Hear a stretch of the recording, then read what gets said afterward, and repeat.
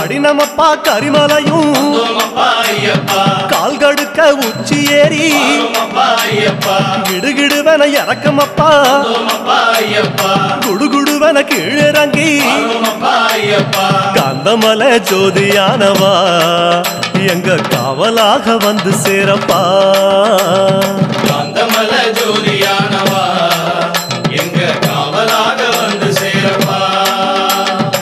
சன்னதியில் கட்டுங்கட்டி.